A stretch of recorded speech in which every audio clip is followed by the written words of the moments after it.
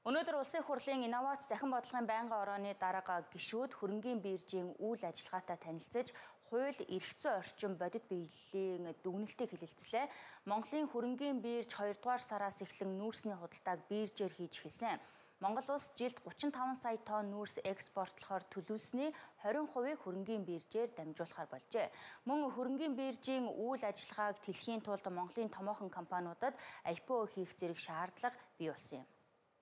Хөрөнгийн биржийн үйл ажиллагааг сайжруулах чиглэлээр улсын хурлаас холбогдох хуулиудыг батлаад байна. Мөн олон улсын хөрөнгийн биржүүд захим хэлбэрт шилжиж үйл ажиллагаагаа улам илүү хэлбэршүүлэх чиглэлд ажиллаж эхэлсэн. Энэ хүрээнд Монголын хөрөнгийн биржийн үйл ажиллагаагч захин болгож иргэд аж ахуй нэгжүүдэд нээлттэй болгох нь чухал болоод байна. Өнөөдөр улсын хурлын инновац захин бодлогын байнгын орооны дарга гишүүд хөрөнгийн биржийн үйл ажиллагаатай танилцлаа. Хөрөнгийн бирж сүүлийн 1 сарын хугацаанд нүүрсийг биржээр арилжаалаад байгаа байгаа юм а. Тэгээ өнөөдрийн байдлаар нийт одоо санхүүгийн зах зээлийн 88% нь бол банк эзэлж байна. Өмнө нь бол 10 жилийн өмнө бол 95 онд банкуд ангаар эзэл байдаг байсан. Тэгээ энэ нь бол ингэ солонгож байгаа нь нэг давуу талтай. Хоёр дахь нь бол энэ 88 хөрлөг буурс нь бол манай Монголын хөрөнгийн биржийн одоо үйл ажиллагаатай шууд хамааралтай маа. Option pricing бол өөрөө эн чинь бол маш тийм юм шүү дээ. Нарийн одоо шинжлэх ухаан шүү дээ. Black Shore модельээр option pricing гэдэг дээ. Тэгэхээр тэрэнд нь үнийн нөөц бэлэн байгаа болоо Монголд гэдэг. Дэлхийн жишгээр option үнийн тогтоох шалгуурна. Мөн одоо манай хөрөнгийн бирж одоо уул уурхайн бүтээгдэхүүнээс тооцвол өдөрт ADTV гэж ярьдаг average daily traded volume ярьдаг шүү дээ. Тэр нь ямар хэмжээтэй юм дунджаар ер нь байж байгаа компаниудыг оруулсан 100 орчим тэрбум долларын ийм одоо индекс юм бэл. За тэгэхээр бид нар энэ Fuji Frontier-д орохын одоо гол нөгөө орохлоор биднэрт ямар боломж нэ гэж юм гэхээр бид нар манай дээр бүртгэлтэй компаниуд одоо энэ индекст орох боломж нэ гэж юм гэж үзэж байгаа. За өнөөдрийн байдлаар хоёр дахь асуултанд хариулах бол option pricing бол болон бусад одоо санхүүгийн бүтээгдэхүүнүүд дээр Монголын хөрөнгөний зах зээлийн хувьд бол бид нар ер нь энэ өөрөө Монгол улсад шин тутам зүйл.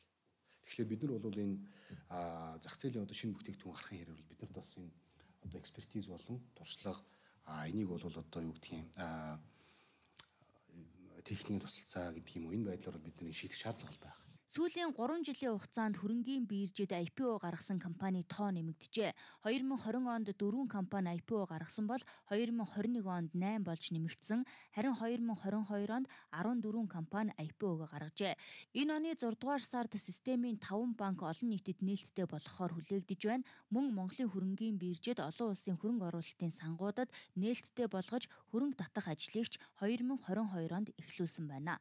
Энийг бол сайн одоо платформыг нь буюу тэр дэд бүтцийн зангидад тэр энэ ажлыг эрчимжүүлээд бүр ингээд өөр ямар нэгэн тийм дундын зуршил ордог өмнөх тийм муу жишгийг дахиж нэвтрүүлэхгүй байх ажил тэр ачаалал бол хөрөнгөний бирж дээр байна л гэж харж байгаа. Тэгэхээр энэ дээр л илүү анхаарч ажиллах ёстой. Яагаад гэвэл Монгол улс бол түүхийн эдийн асар их нөөцтэй. Энэ цахим бодлогын байнгын хороо байгуулагдаж одоо маш идэвхтэй ажиллаж байгаа. Тэгэхээр энэ байнгын хорооныхан бас хууль эрх зүйн орчинг бас энэ цахим шилжилтэнд шилжүүлэхэд маш их үүрэг гүйцэтгэж ажилласан.